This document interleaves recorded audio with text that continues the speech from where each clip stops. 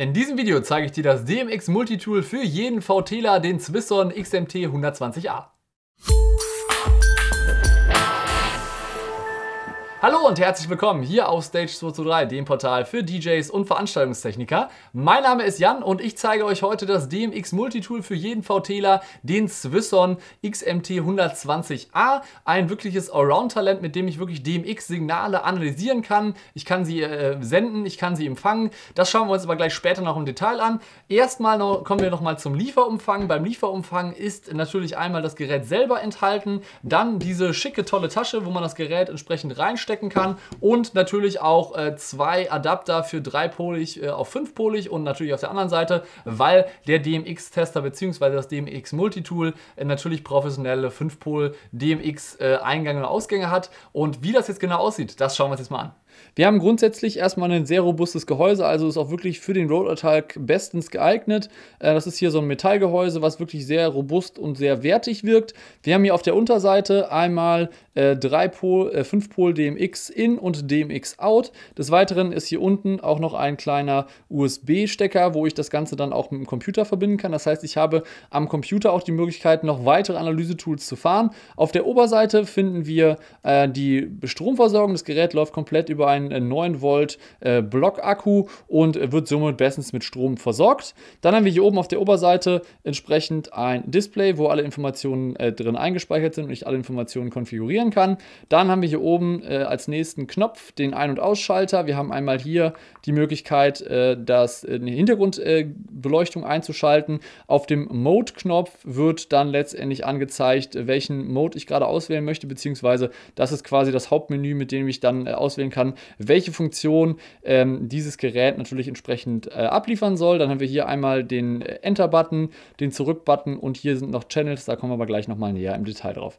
So, wir haben dann hier die Möglichkeit, ähm, zum Beispiel zu sagen Receive DMX, das heißt, ich habe jetzt gerade mal im Hintergrund ein kleines Test-Setup aufgebaut, wo wir einfach DMX-Signale empfangen. Dann klicke ich hier einfach mal drauf und dann sehen wir hier schon, dass auf Kanal 1 äh, da schon ähm, ein Farbverlauf drüber läuft und haben hier dann auch, sehen hier, wie das Level hoch und runter geht.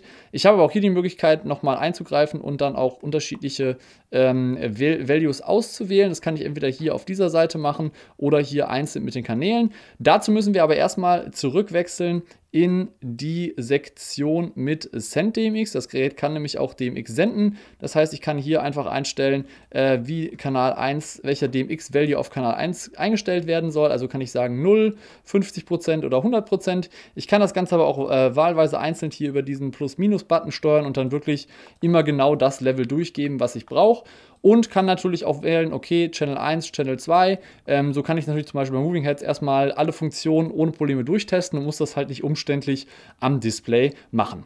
So, dann gehe ich wieder zurück auf den Mode-Button. Dann haben wir als nächste Funktion, nachdem wir sagen, okay, wir können DMX-Signale empfangen, diese natürlich dann auch analysieren und dann auch äh, senden, haben wir den Kabeltester. Das heißt, ich kann einmal durchchecken, ist denn überhaupt alles hier richtig angeschlossen, sowohl im In- und Out. Das heißt, man kann auch wunderbar checken, ob auch alle Kabel hier okay sind.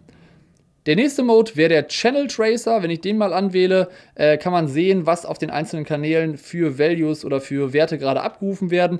Wir sind jetzt gerade auf Channel 2. Ich kann zum Beispiel auf Channel 1 wechseln und dann sehen wir hier durch diesen äh, Lauflichteffekt, den ich hier gerade habe, oder diesen Rainbow-Effekt, werden halt hier die Channel 1 ho immer hoch und runter gefahren. Äh, Channel 1, 2 und 3 und äh, das wird mir hier halt entsprechend angezeigt. Ich habe hier oben in der Ecke auch die Anzeige, ob die, die DMX-Leitung okay ist und ob es da irgendwelche Probleme gibt oder ob das DMX-Signal vielleicht auch zu schwach ist.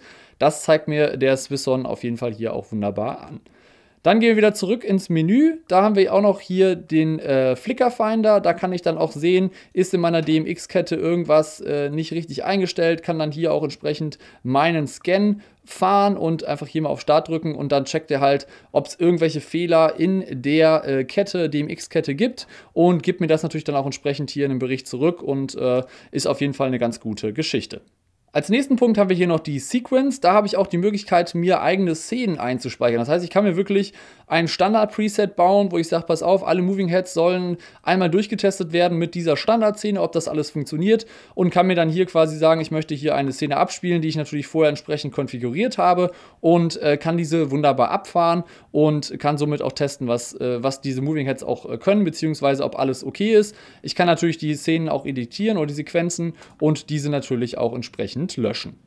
Unter dem Menüpunkt Timings kann ich mir auch nochmal ein paar Informationen anzeigen lassen, wie zum Beispiel die Refresh-Rate oder die Break-Länge. Das sind alles Informationen, die ich vielleicht brauche, um halt äh, gewisse Fehleranalyse zu betreiben. Und äh, das ist auf jeden Fall ein ganz, ganz cooles Tool, mit dem ich das wirklich sehr, sehr professionell und wirklich auch sehr detailliert machen kann. Und unterstützt mich natürlich im VTler-Alltag sehr gut, wenn ich wirklich auf Fehlersuche bin und äh, quasi gerade auf einer Produktion und äh, nicht wirklich äh, viele Möglichkeiten habe, da irgendwas groß durchzuchecken. Dann ist dieses kleine DMX Multitool echt ein Alleskönner.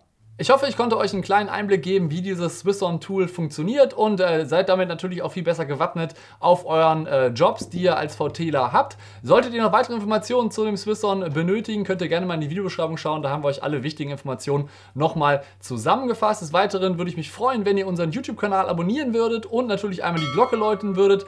Und ich möchte gerne mal von euch wissen, nutzt ihr solche Tools bereits oder äh, welche anderen Tools nutzt ihr noch, äh, um unterwegs auf, im Rollalltag ähm, bestimmte Sachen zu analysieren oder auch Fehleranalyse zu betreiben? Schreibt das gerne mal unter das Video in die Kommentare, würde ich mich echt mal über eine rege Diskussion freuen, beziehungsweise auch mal freuen, welche Tools äh, ihr denn noch so alle einsetzt und was es da draußen halt noch so alles gibt. Wie immer am Ende sage ich Practice and Enjoy.